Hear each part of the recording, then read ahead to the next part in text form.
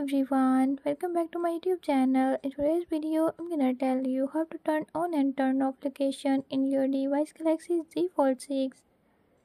But before we get started, don't forget to hit the subscribe button and the notification bell. Make sure to watch complete video and learn you can do it. Let's watch the video.